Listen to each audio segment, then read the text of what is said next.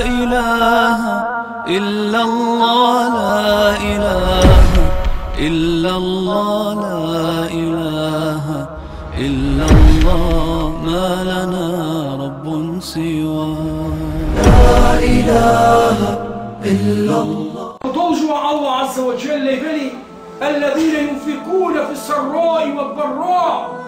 Prvo svojstvo na te vernici se one koji dela, ki koga ima, ki ne Кога делат и кога се во богата состојба и кога се во бедна состојба. И кога се богат и кога се сиромашни. Верникот дели, што вели Малик ибн Динар, тој е табеир. Динар! Што е динар? Динар, вели, во тефсир но Кесир, вели, во суре Али Имран дава коментар, динар е составен од две два збора. Дин, вера, и нар, оган. Динар, а српски динар, македонски, кувајски, бахрински, динар, дин, вера, нар, оган.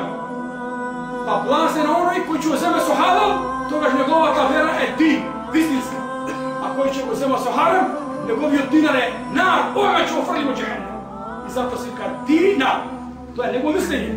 На Тараин, еден од нашите добри побожници. Дин над. дим, вера на оган. Алладина юнфикун. Оние кои делат и во имаштија и кои делат во немаштија. Верникот, вели Пегал за селем, а сахију, оне кој е дарежни верник. Карибу мин тоа тој е близко на Аллах Тој е близко до луѓето. Тој е близко до дженнет, далеко од джехеннем. Вал бахил, а оној кој е скрша, оној кој е циција, тој е далеко од Аллах. Тој е далеко од луѓето. Тој е далеко од дженнет, а тој е близко до дженнет. И затоа верникот мора да се труди, драги браќа, да биде дарешлив и да биде свесен дека Allah е оној кој дава риск, оној кој дава нафака. Вели nafaka. Veli, селем во хадис има муслим, во хадис hadise Bukurere, ма мин јомин илла во мелекан јензилан. Секое утро се спушта двајца мереки на земја, двајца мереки доаѓаат на земја, секое утро. Едниот вика, едниот прави дова и вели Аллахумма ати мунфикан халефа, во Аллах на оној што дели и дава, дуплирај го и замени му го, надомести му го. Вал ахар, а другиот вели Аллахумма ати мумсикан талефа. О Аллах оној кој има, а не дели, не помага. О Аллах и тоа што го има, уништи му. Драги браќа, вие сте чуле за Гази Хусрав. Гази Хусрав бег, во 1531 година во Сараево кога се избрани неговите објекти, неговите хумани дела, што ги направи изнесувале 202 објекти, Метресиња, книги, китабхани, мусабрихани, джамија, Газо Хусрапек, безсистеми, 1531 година. А е преселен Ахирет, Газо Хусрапек, 1542 година нахирет. Тоа е живте денеска.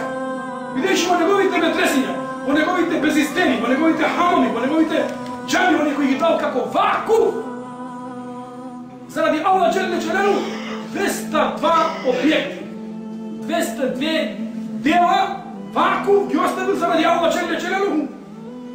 Денес како ќе тео прашање некој да поклони на джамија, дали било за кровиште, дали било за джамија, тој пара дупла земја. Ако кошта 10 евро, те бара 20, што па ќе да нема јетини, нема сираци. Валлахи, овој умет додека не се рода тие вакуфи, вакуфчи, оние кои имотот свој го оставале заради Аллах Челе Джелену, нема да проспери во умет. Зошто Египет, Каиро или Ел Асхар, најпознатиот универзитет во Ислам, во историја на Ислам, Ел Асхар, ако збориме за Мединскиот, нема 50 години, или од 381 година е Мединскиот университет. Ел Асхар, 12, 12 века, Како е финансиран? Луѓе оставале кучи, ливје, душани, све, вакув.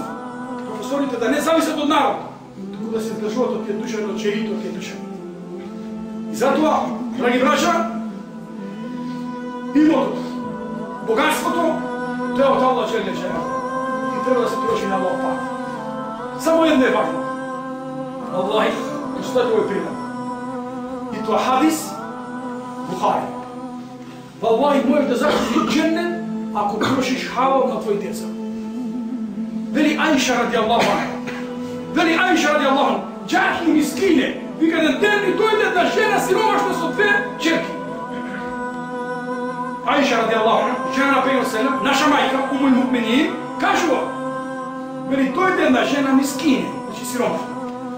Вамаха бинтан, а со неа две черки. И дојде бараше нешто. И јас си дадов три уроки. И ги подели една на таа черка, другата на таа черка, една за себе. Кога сакаше да стави во уста таа жена, таа мајка, да стави во уста таа урма, тие двете черки, ом, ом, мајко, нам, нам. И таа рече ја преполови. Так, пол на другата черка, пол на другата. За себе? Ништо. И замира. فلما جاء الرسول صلى الله عليه وسلم па кога се врати Пејо Селема беше отсутен. И Аиша му раскажа на Пейгамбер саллаллаху алейхи васелем. Рече, ја Расулаллах, ми дојде една жена со две черки, ми повара нешто и дадов три ури. Таа ги подели една за едната черка, другата за другата черка, едната за себе. Меѓутоа на крај, кога ја пружи рака за уста за себе, тие побара Па таа ја проповоди и го даде на черките. Па се зачуди Божи пегамбер. Што рече пегамбер се لقد اعتقها الله من النار وقد وجبت لها الجنة Таа со тоа дело се ослободила од джехенемски оган и дженнетот и станал задолжителен. Аллаху Замисли на своје чедо, му дениш од уста, со халал и му даваш се ослободуваш себе си од джехенемски оган и дженетот ти станува задолжителен. А камо ли, кога ќе отмоиш од туз некој да одеш на некој јетим или на некоја домица? Каква е таа награда, да ги кажа? Е те, она што ова вера нас научи да бидеме хумани, да бидеме тарежливи, да го делиме овие Аллахови благодети што Аллах ни дал, да ги делиме заедно да уживаме сите.